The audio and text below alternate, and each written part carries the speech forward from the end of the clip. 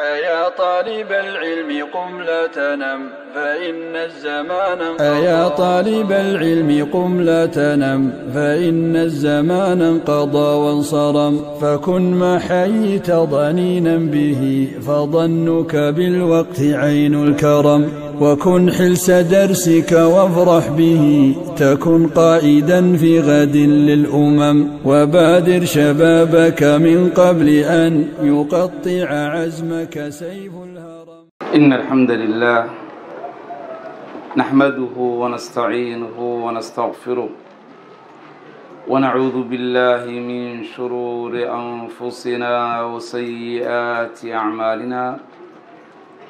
من يهده الله فلا مضل له ومن يضلل فلا هادي له وأشهد أن لا إله إلا الله وحده لا شريك له وأشهد أن محمدا عبده ورسوله صلى الله عليه وعلى آله وصحبه وسلم. أما بعد waxaan ku soo dhex jirnay kitaabkii ciwaankiisa waa cumdat alaxkaam oo alifay imaamu lmaqdisi raximahullah. Waxaynu soo gaarnay kitaabu lxaj awaaqirkiisa. Imaamka raximahu llahu tacaala wuxuu odhanayaa baabu fadli lxalqi wa jawaasi taqsiir xiiridda fadliga ay leedahay baabkiisii wey timaha in la xiirto iyo inay bannaan tahay in la gaabsado maalinta ciidda ah afarta shaqoo la qabto waxaa ka mid ah in timaha la jarto ama la xiirto. Waxaana fadli badan in la xiirto sidaynu baran doono imaamka raximahu llahu tacaala wuxuu oran can cabdillaahi bni cumara cabdillaahi bni cumar ayaa laga wariyey. Radia allahu allaha ka raali noqday canhumaa isagii aabihi. Anna rasuula allahi rasuulka alle sala allahu allaha amaanay calayhi dushii wasalam allaha nabadgeliyey qaala waxa uu yihi rasuulka calayhi salaatu wasalaam allaahuma arxam allow u raxmo almuxalliqiina kuwa timaha xiira. Qaaluu waxay yidhahdeen saxaabadu ridwaanullaahi calayhim waalmuqasiriina kuwa gaabiyana yaa rasuula allahi rasuulkii allow qaala waxa uu yihi rasuulka calayhi salaatu wasalaam allaahuma arxam allow u raxmo almuxalliqiina kuwa timaha xiira qaaluu waxay yidhaahdeen waalmuqasiriina kuwa gaabiyana yaa rasuula allahi rasuulkii allow qaala wuxuu yihi nabiga calayhi salaatu wasalaam allaahuma arxam allow u raxmo almuxalliqiina kuwa timaha xiira qaaluu waxay yidhahdeen waalmuqasiriina kuwa gaabiyana yaa rasuula allahi rasuulkii allow qaala wuxuu yihi rasuulka calayhi salaatu gaabiya muttafaqun calayh.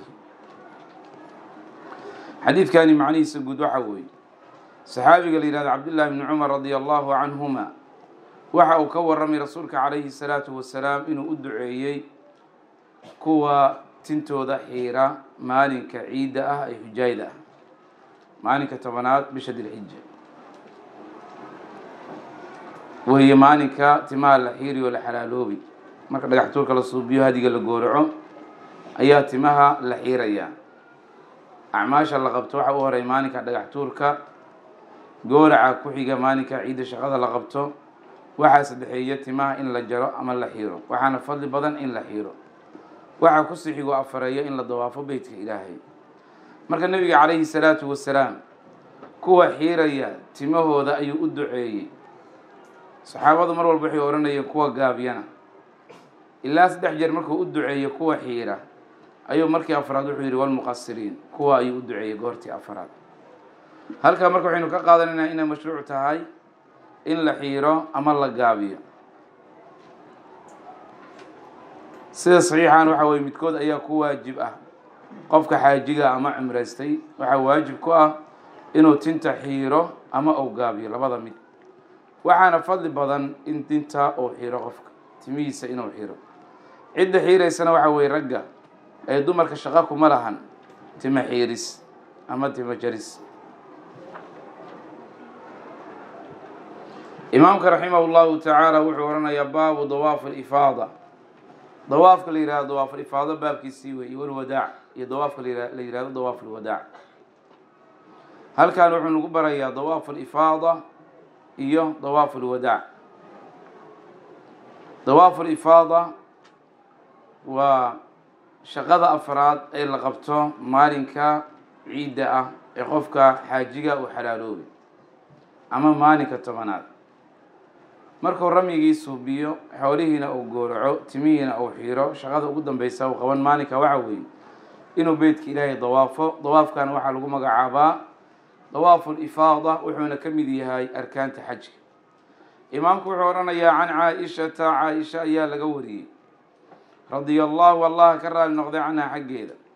Qaalat caa-isha waxay tidhi xajajnaa waynu xajinay maca nabiyi nabiga la jirkiisa sala allahu calayhi wasalam fa afadnaa waynu dawaafnay yowma naxri maalinkii ciidda. Fa xaadad way dhiigtay safiyatu. Fa araada nabiyu nebigu wuxuu ka doonay safiyo sala allahu calayhi wasalam minhaa xaggeeda maa yuriidu waxa uu ka doonay alrajulu ninka min ahli ehelkiisa faqultu waxaan iriya tiri caa-isho yaa rasuula allahi rasuulkii allahu inahaa safiyo xaa-idun dhiig ayay qabtaa qaala faqaala wuxuu yihi nabiga calayhi salaatu wasalaam axaabisatunaa miyayna xabisi hiya ayada qaaluu waxay yidhahdeen yaa rasuula allahi rasuulkii allow inahaa ayadu qad afaadat waa ay dawaaftay yowma naxri maalinkii ciidda qaala wuxuu yihi nabiga calayhi salaatu wasalaam ukhrujuu baxa calayhi. Wa fii lafdin lafdi dhexdii waxaa ahaaday qaala nabiyu nabigu wuxuu yihi sala allahu calayhi wasalam caqraa xiirato ama ba'do xalqaa xiirato adaafad ma dawaaftay yowma naxri maalinkii gowraca. Qiila waxaa loo yidhi nacam. Qaala wuxuu yihi fanfirii bax marka. Kelmaddan la yidhaahdo caqra iyo kelmadda la yidhahdo xalqa macnaha waxaa weeye canaan. Rasuulka calayhi salaatu wasalaam oo canaananayo. Caqrigana waxaa weeye yacni dhaawaca jirka ku dhacaya wey. Adducaa calayha wey marka habaar wey markii asal ahaan loo fiirsho lakiin hadda waxaa lagu wadaa canan ahaan.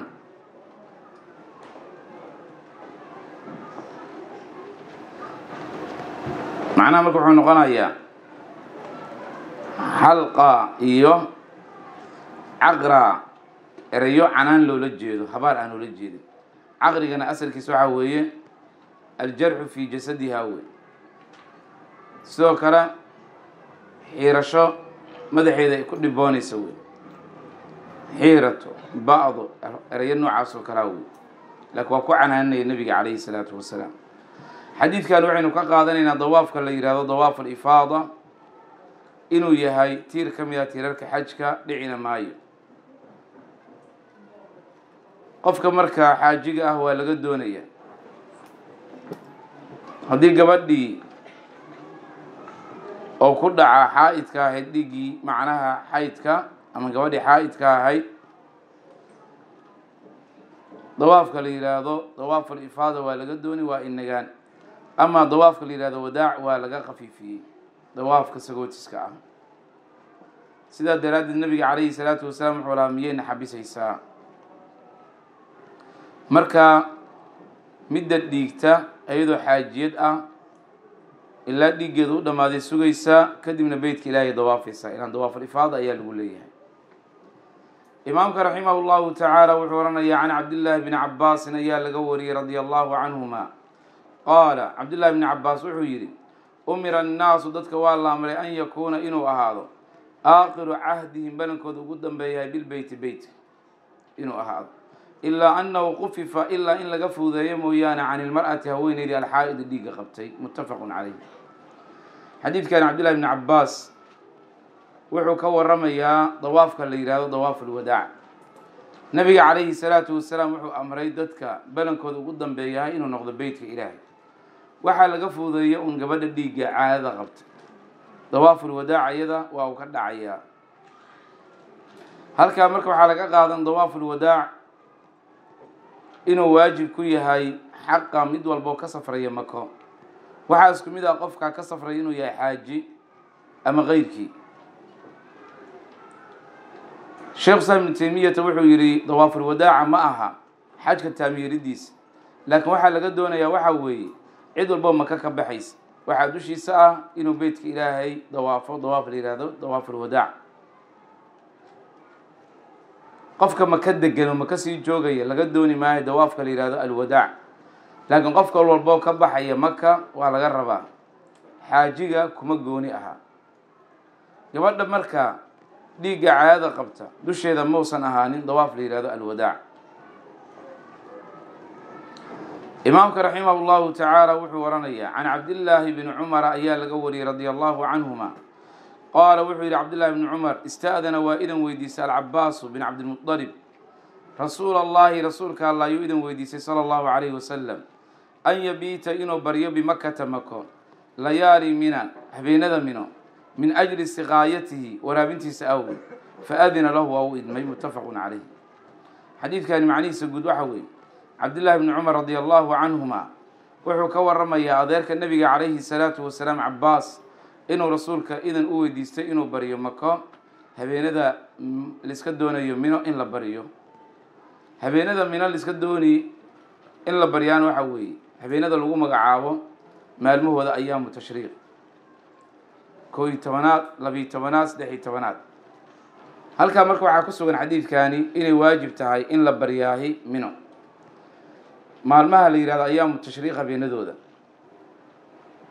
baritikal halkan waxaa laga wadaa nagaasho oo qofka ku nagaanayo habeenka intiisa badan. Imaha inuu baryo inay daruuri tahay. Habeenka intiisa badan inuu soo joogo. In loo ruqseeyey inuu ka tago yacni baritanka ama waqtiga badan habeenkii inuu joogo qofka waraabinaya xujaayda. Cabaas shaqadaa uu hayay ayaa loogu idmay inuu mako baryo imaamka raximah llahu tacaala wuxuu oran can cabdillaahi bni cumara ayaa laga wariyey radia allahu canhuma qaala wuxuu yihi jamaca waa kulmiyey. Annabiyu nabiga sala allahu calayhi wasalam bayna almaqribi maqribkii walcishaayi cishii bijamcin halka la yihahdo musdelifo ayuu ku kulmiyey. Likulli waaxidatin mid walba oo minhumaa labadaas salaadood ka mid a maqribkii cishaha iqaamatin aqn ayuu u yeelay. Walam yusabix ma sunnaysan baynahumaa dhexdooda walaa calaa ihri waaxidatin mid raadkeedana ma sunnaysan minhumaa labadooda ka mid a. Muttafaqun calayh xadiidkani macnihiisa guud waxa weeye cabdillaahi bni cumar wuxuu ka warrami nabiga calayhi salaatu wasalaam inuu kulmiyey maqribka iyo cishaha meesha lagu magacaabo musdelifa inuu ku kulmiyey. Hore waxaan u soo baranay maalinka sagaalaad in la joogayo halka la yihahdo carafa. Carafa qofka markuu ku nagaado maalinka waqtigiisa dambe ama qorax gaabka inuu ka soo dhaqaaqi. Maqribka dhex ayuu u gelayaa tukan maayo waa soo dhaqaaqi. Wuxuu imaanayaa habeenka ciidda ama habeenka tobanaad halka la yihahdo musdelifa halkaa marka xadiidkan sidoona bari waxaa weeye in qofka uu ku kulminayo maqribka iyo cishaa mid walbana aqin inuu yeelaya hal aadaan iyo laba aqin qofka sunna ma sunaysanayo waayo nabiga calayhi salaatu wasalaam salaadaha uu jamciyey dhexdooda ma uusan sunnaysan. Mid gooninana sunno gadaasheeda mausan tukan.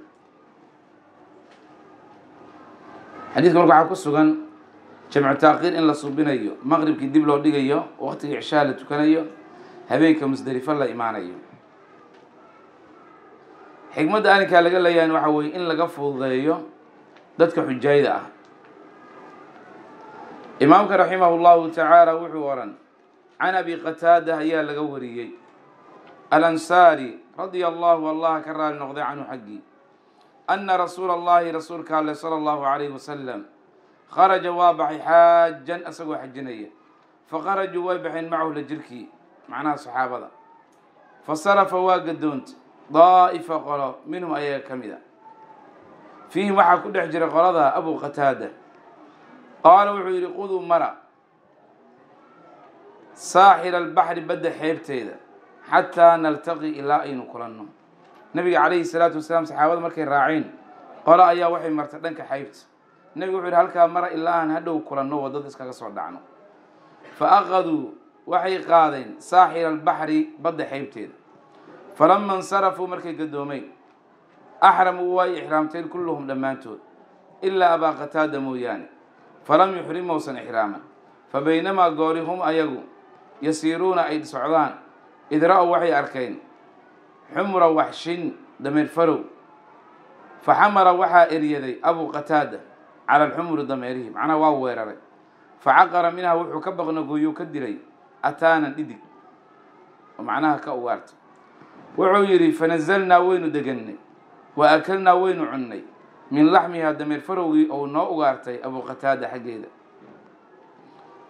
Uma qulnaa kadib waxaynu nidhi ana'kulu miyaynu cuni min laxmi saydin hilib ugaareed wa naxnu xaal aynu nahay annagu muxrimuuna kuwa ixraaman waxa uu yidhi faxamalnaa waan xambaarnay maa baqiya wixii ka soo haray min laxmihaa hilibkeeda fa adragnaa waxaynu haleelnay rasuula allahi sala allahu calayhi wasalam fasa'alnaahu waynu su'aalnay can dalika arrinka faqaala wuxuu yihi nabiga calayhi salaatu wasalaam minkum axadun axad idinka mid ah miyaa jira amarahu amray an yaxmila calayha inuu weeraro eryado ow ashaara ilayha ma u tilmaamay abuu qataada ugaarta.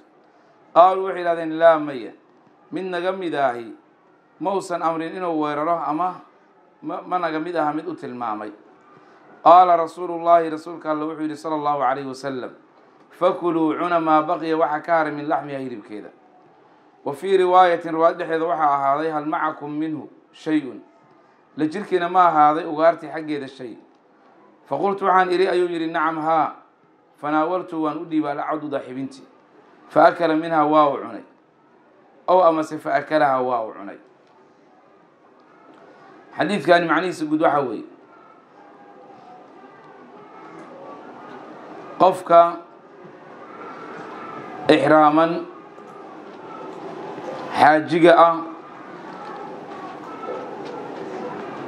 inaysan u banaanayn ugaarta. Inuu ugaarsado.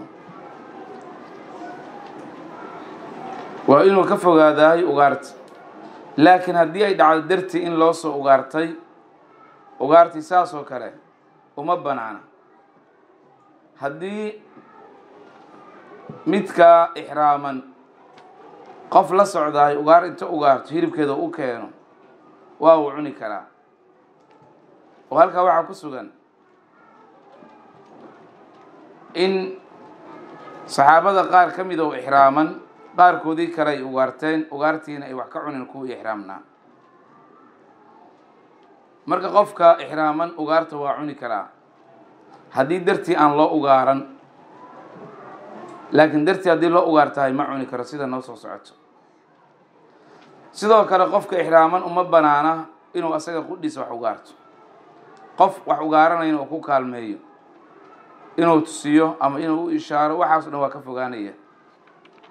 Imaamka raximahu llahu tacaala wuxuu oran can isacbi ayaa laga wariyey binu jathama alleythi radia allahu allah ka raali noqday canhu xaggii annahu ahdaa inuu hadiyeeyey ila nabiyi nabiga sala allahu calayhi wasalam ximaaran dameer waxshiyan waxshi ah wa huwa xaaluya bilabwaayi abwaa mid ku sugan oo amase biwaddaana waddaan halka la yidhaahdo faraddahu waa ku soo celiyey calayhi ninkii dushii nabiga calayhi salaatu wasalaam.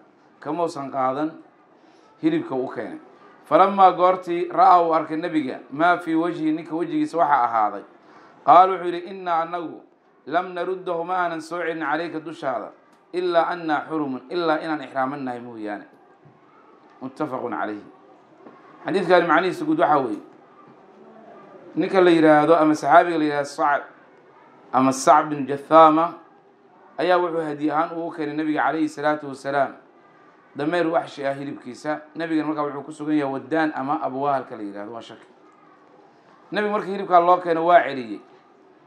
Markuu arkay ninkii wejigiisu isbedelay ayuu la hadlo wuxuu yidhi annaga kugumaanan celin ilaa inaan ixraamannahay mooyaane. Imaamka wuxuu odhanayaa wa fii lafdi limuslimin lafdi muslim u sugnaada waxaa ku dhex sugnaa rijla ximaarin inuu u keenay wa fii lafdin limusliminna waxay ahaad sidoo kale shaqa ximaarin ama shiqa ximaarin ximaar dhinaciisa ama dameer jeexiisa. Cajuza ximaarin ayaa lagu wadaa. Qaala almusanifu musanifka waxa uu yihi wajhu hada alxadiid. Xadiidkani tawjiihintiisa waxa weeye iyo kii hore.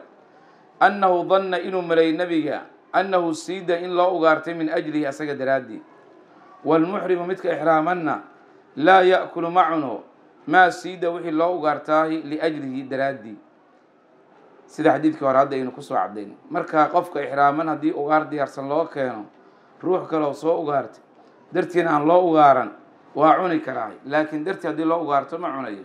Sida xadiidkan culimo badan ay ku xambaareen. Allah subxaanahu wa tacaala markuu la hadlayay dadka ixraaman wuxuu yidhi waxurima calaykum saydu lberi maa dumtum xuruma waxaa laga xarimay dushiina ugaarta beriga intaad ixraaman tihiin marka halkaa sheikh wuxuu ku soo gebagabeeyey kitaabu lxaj in qofka ixraaman uu ka fogaado inuu ugaarto. Sidoo kale inuu ka fogaado waxa loo soo ugaartay dartii. Halkaa waxaa noogu dhammaaday falilaahi alxamdu kitaabu lxaj ay ka mid ah kitaabkii cumdat laxkaam wallahu subxaanahu watacaala aclam. Subxaanaka allahuma wabixamdik ashhadu an laa ilaaha ilaa ant astaqfiruka waatuubu ilayk اللهم من يرى هذا المقطع ومن ساهم فيه ومن أعان على نشره اللهم فاغفر له ذنوبه كبيرها وصغيرها جلها ودقها عظيمها ودقيقها. يا رب العالمين. Kuguma qasbaayo inaad faafiso balse allah dartii ku faafi